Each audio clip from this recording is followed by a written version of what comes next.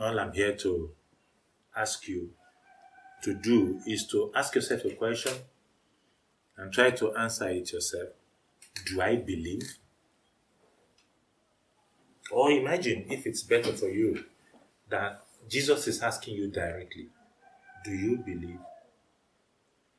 Because this issue of believing is the core of our being. Actually, the world calls us believers.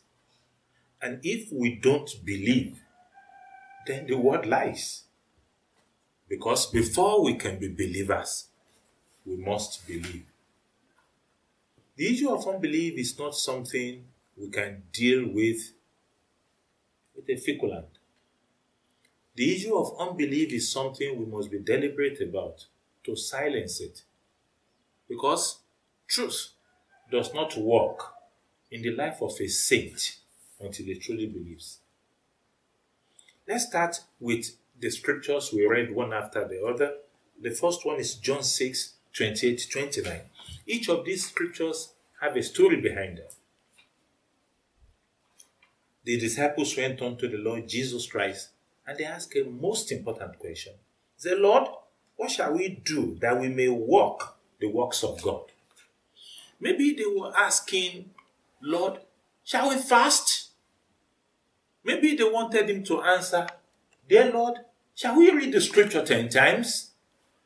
Maybe they were expecting an answer like, climb onto the top of Mount Sinai, roll down on your back, and then you'll be able to walk the works of God. They probably were looking for something big, something hideous, something strange to do.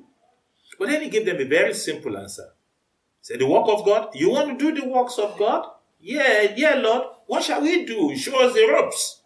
Said, The work of God is to believe in Jesus Christ. Simple. Believe in who he has sent. That is the work of God. So, which means it may not be as simple as we think it is. He didn't say know Jesus, he said believe him. He didn't say hear about Jesus, he said believe him. He didn't say read about Jesus, he said believe him. For believing Jesus is different from knowing about him. It's different from hearing about him. Can I say something you may not believe me? But it is true. Believing Jesus is different from receiving miracles through him. Because even that one is possible without believing. Believing Jesus is believing him, knowing who he is. And it has some qualities which we may be able to highlight if the Lord give us space. But the question is, truly, truly, I ask you, truly, truly answer to yourself, do you believe Jesus?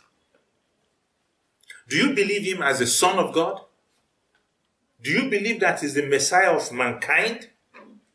Do you believe that he's coming back again? Do you know the purpose of his return? Because if you truly believe, believe as something that I want all of us to know today. Believe as a way of affecting our character. Knowing may not, hearing may not, associating with people who believe may not, but when you believe, something changes. Women who cook believe that when they add this and this and this together, it will produce that. That is why they do so. They will not do what they don't believe in. So belief is always followed by action. Belief changes character. When the mentality of a man is changed by belief, the stance of his steps change. His stride changes. His utterances changes. Belief changes everything about you. So you can't say to me you believe if it has not affected your character. He said, the work of Jesus Christ, the work of the Lord is to believe Jesus. And so if you're there, you're a believer in name, and your life is not affected, maybe you believe a phantom, maybe you believe a theory, maybe you believe what people say, but I doubt if you've met him and I doubt if you believe in him. That's our first scripture. Before we go into the full discussion, let's see the second scripture and look at the story behind it. After the death of the Lord Jesus Christ, he appeared to some of his disciples and uh, they saw him. Then they met my dear brother Thomas and they said to Thomas, We've seen the Lord. Then you know what Thomas said? He said, I don't believe you guys. He stayed with Jesus three years. He had him preaching three years. He saw miracles all through. He was one of the first few disciples. He was brought by Andrew. He saw the Lord. He met the Lord. It's been a series of miracles and miracles. Then the Lord died. He saw the Lord crucified. One of the things the Lord said is, I'll come back again. And those who saw him said unto Thomas, Thomas, we've seen the Lord. He said, unless I see the wound on his head and side, and unless I put my finger into the hole in his hand, I will not believe. I don't know how Jesus had, but it's Jesus. For Jesus was not physically present when he said what he said. And then, after a while, eight days later, his disciples were together inside in a place, and Jesus came. He didn't have to open the door. He's King of Kings and Lord of Lords. He came in without the door opening. It's a miracle. Then he looked around them and he said, Peace be unto you. Thomas saw the Lord. Then he looked, Jesus looked at him straight, like he will look at you in your areas of unbelief. Like he will stare us face to face and say, Hey, I told you that. Like when we miss some miracles that should be asked, when we miss them because of unbelief or because of unbelief, and we meet with Jesus, he will look at you and say, It was your error. I did that for you. You couldn't claim it because you can't believe. He looked at Thomas and he said, Thomas, touch my hand. You want to see the wound to my side? You want proof of my being? You want me to prove to you that I'm alive? When Jesus, when Thomas saw, he said, My Lord and my King. Jesus did not let him go scot-free. He pushed the truth, like he's pushing the truth with us today. He said, Oh, now that you've seen the wound, now that you've seen what you wanted to see, you believe? You are not as blessed as some people. They are the people who have not seen, yet they believe. There's something contrary to our system of thinking here. You know, you've had it, I've had it. It's something banded everywhere that seeing is believing. If you believe seeing is believing, you can't be a good Christian. Thomas here believed that seeing is believing. And that's why he said, until I see, I won't believe. Jesus is saying to him, that's your theory, that's your principle, that's your whatever dogma, whatever it is you call it, that's your mantra is wrong. Seeing is believing is wrong. He said, blessed are those who having not seen, believe. I want to be one of those ones who having not seen yet believe. There's a guarantee that you who believe having not seen, I can guarantee you will see. Because actually, it is believing that brings true sight. Ability to really, really see comes from believing. That's the story of our second scripture. I don't want to be a Thomas, but sometimes I find myself playing Thomas. When the promises are large, I wonder, can God do it? But then I quickly say, Father, help me chase away unbelief. I believe him at his word, and then I see the proof. I don't wait for the proof to believe, for by then it might be too late. Now we go to our third scripture, Luke chapter 1, verse 45. When Elizabeth was talking to Mary, the mother of Jesus, he said, Blessed is she who believes, for there will be a fulfillment of those things which were told her from the Lord. You know, she went to visit Elizabeth. She got into the house of Elizabeth and Elizabeth said, Hey, the moment you came in, the baby in my womb jumped up. There was an agreement within uh, the pregnancy of John the Baptist, the little fetus, and that of Jesus. John the Baptist as a fetus recognized Jesus as a fetus and bowed in the womb for my Lord and my King. The mother felt it. And I said, yeah, yeah, there's an agreement here. Whatever you believe that has been promised you will be fulfilled. I think there's a principle there we need to look at. Whatever you believe as a promise will be what? Will be fulfilled.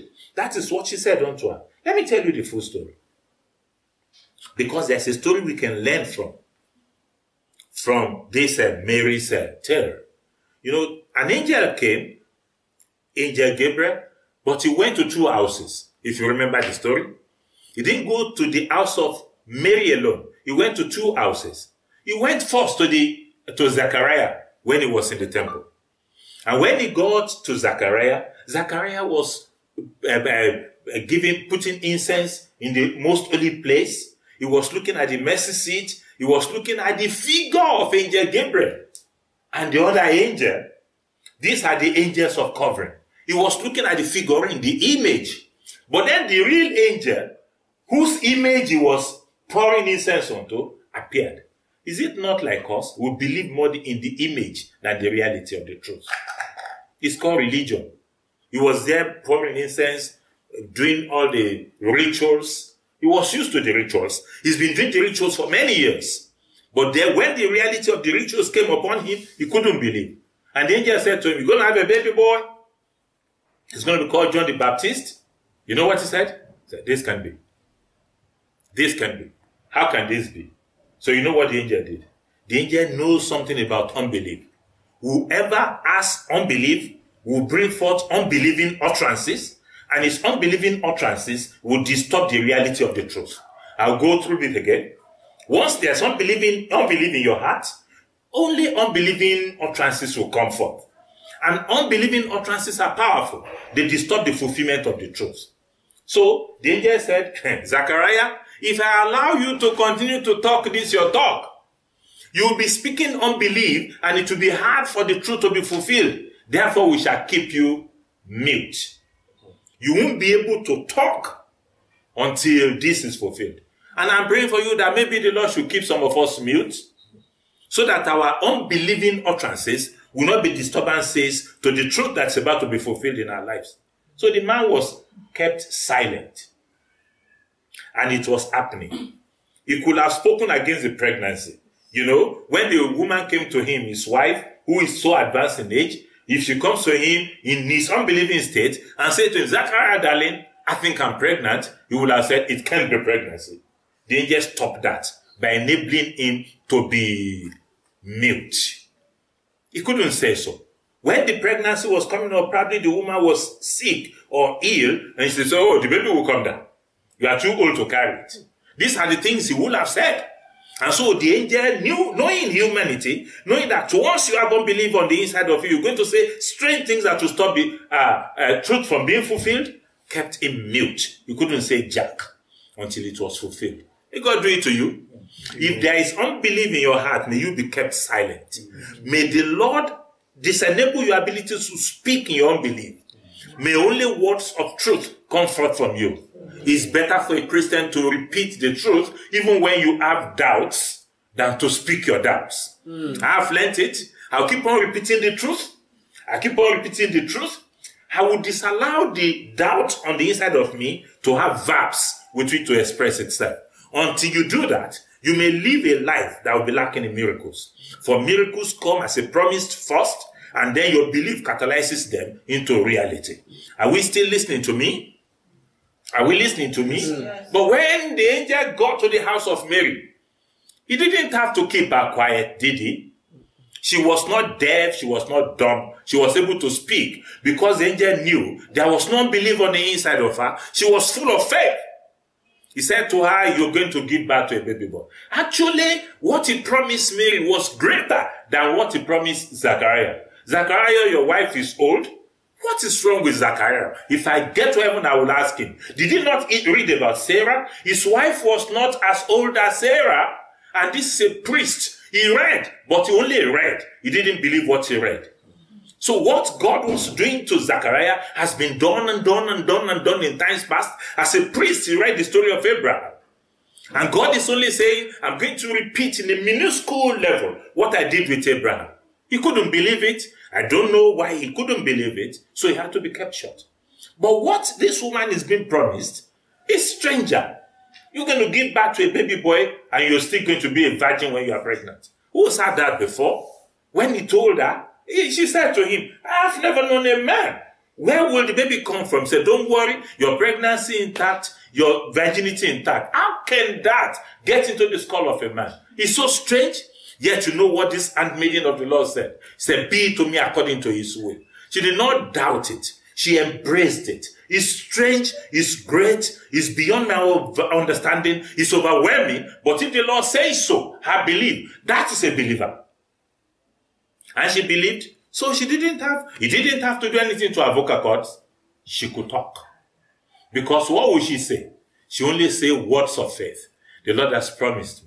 And now she's getting to the house of uh, Elizabeth, and Elizabeth is saying to her, What the Lord has promised you will come to pass. I said to someone listening to me there, What the Lord has promised you will come to pass. It will come to pass. Amen. And even if there's unbelief in your heart, you walk the walk of disenabling your unbelief from getting verbs. Don't give it words.